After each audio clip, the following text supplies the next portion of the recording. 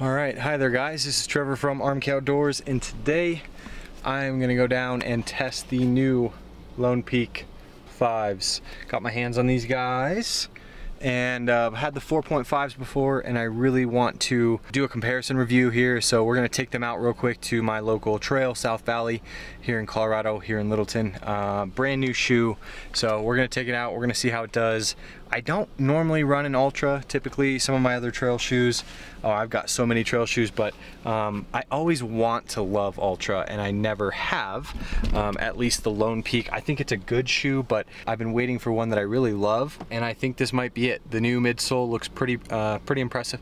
So we're gonna see how it works today, get some get some clips of me using it, get a first impressions, and then uh, we'll go sit down at the desk probably tomorrow because it's supposed to snow, so I wanted to get this in today. Uh, we'll probably sit down tomorrow, do a quick comparison between the two and see which one works for you guys. So stay tuned.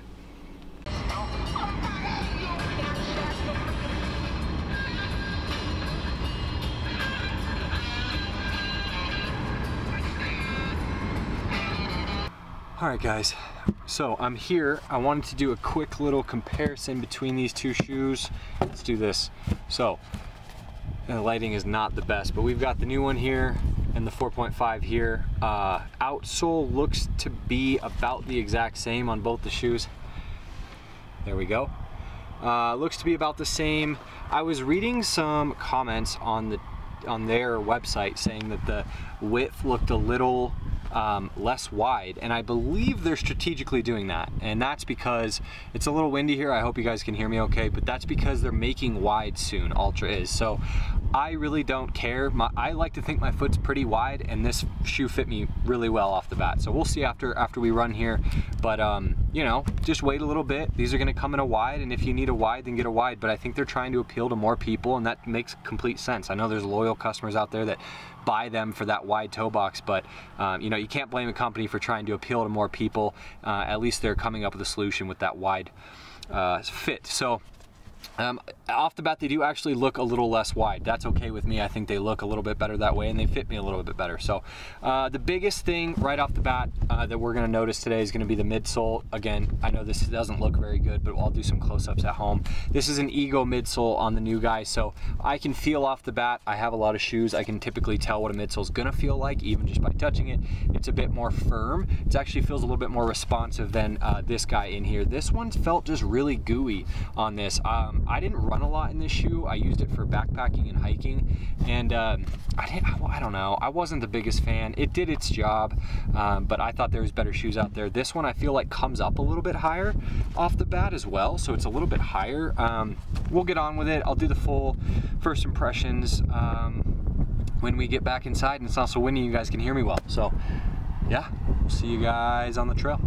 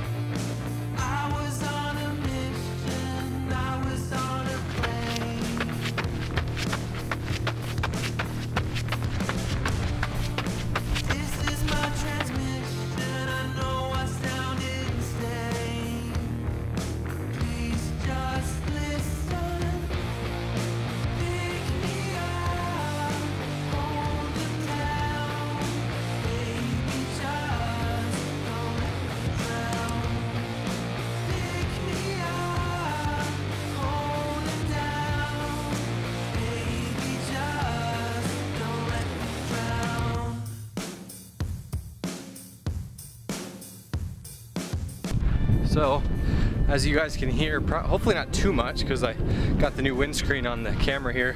It's getting a bit windy, sun went down. I thought I could beat it, which is why I'm dressed like it's midsummer. So it's getting a little chilly. We're gonna we're gonna put the camera down or away and uh, try to get back. So um, hopefully that was enough footage for you guys. As I said, I'm really excited to use this more. Uh, we'll get back home to the desk and I'll show you guys the, the differences um, up close uh, between the Altra 4.5 and the 5.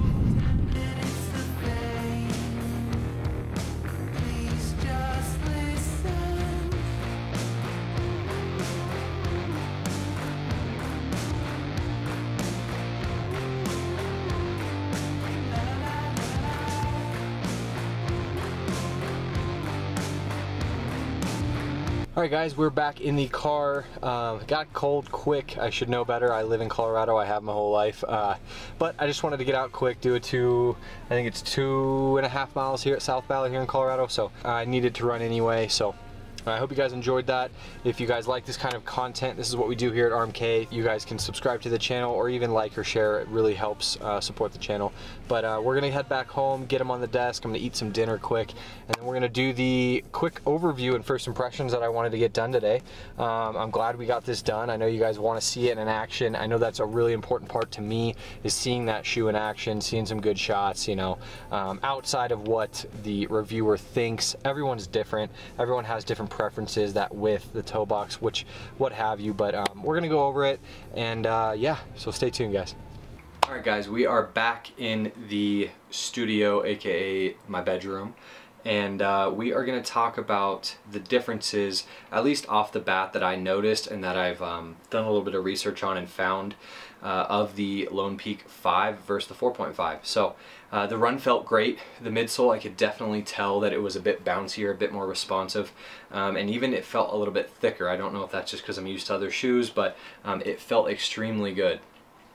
Um, so I'm going to talk about, I kind of told you guys how it felt on the trail, so I'm going to kind of hit on some of the um, differences here. So on the upper you have less overlays between uh, the two shoes, or less overlays on the five here, so it's a little bit simplified. I think it looks a little bit better too, which we all know is the most important part. You do have drainage holes on the front toe here as well, and I already thought this had pretty good drainage, so you've got those on there outside of the upper that's pretty much the same.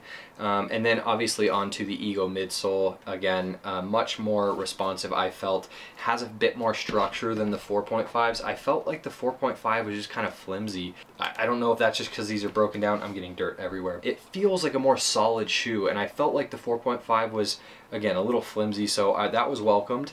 I think that this uh, it felt really great out of the box. I know it's a new shoe but um, you know, it felt good today. So, so as for the fit, I did notice that it is a bit more snug, not only off my first impressions, but it does fit a little bit better for me. I don't have, I, I actually kind of have a wider foot typically, and I, I thought that these were a bit sloppy, the 4.5s.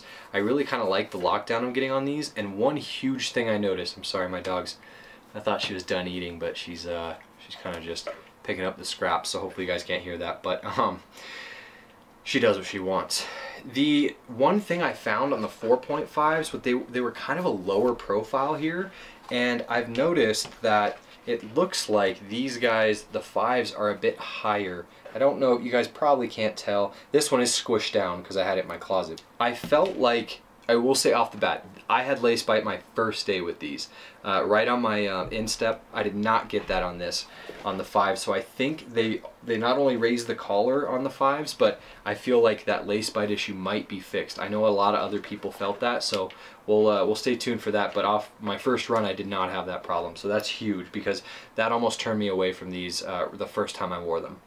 Let's see. So as for grip, uh, they both have the MaxTrac here, you guys can tell. Very, very similar. However, they did change up the pattern a little bit. Not not a lot. It's still it's still what we know. It felt great. It was just on some dirt, uh, some dry pack dirt, so you know I didn't really get to tell. But they changed it up a little bit.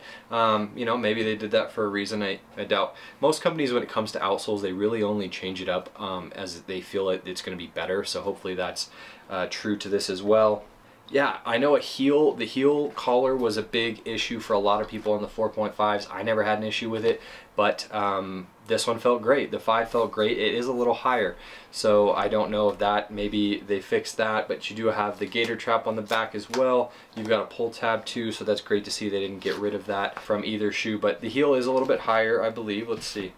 I guess it's not that much higher, but the instep is so much higher. Like, it's... It, we'll do some close-up shots. But um, so the heel's actually not that much higher. Very similar mesh on the inside, little different. Um, you have the pull tab on the tongue as well. Let's see, what else do we have here? I believe the fives are a little bit heavier as well. Um, that should be due to the Ego midsole. I'm okay with a little bit more weight as long as I'm getting a more responsive and uh, you know cushioned midsole, or durable as well. Well, I um, really I was trying to see what else. You have the fin, not the fin, but the little thing on the back there. on both of them. I think the 5, again, most important part, I think the 5 looks really good. Very excited to get to use these more, do some hiking and backpacking with them this summer because I know a lot of people, a lot of you will probably watch this video and use them for that purpose. I, it's a very, very popular shoe in the backpacking community, so excited to get this out hopefully this could help you guys. If you guys like this kind of content, go ahead and hit like and, or subscribe. That really helps me out and I'm going to be doing a lot more trail, shoe reviews, anything backpacking, hiking, uh, car camping, anything really I can do here in Colorado. Uh, I'm going to try to get some gear and use it and make some videos. So if you guys like this video, you know what to do. Uh, until the full review, just stay tuned and we'll see you guys in the next one. Thank you.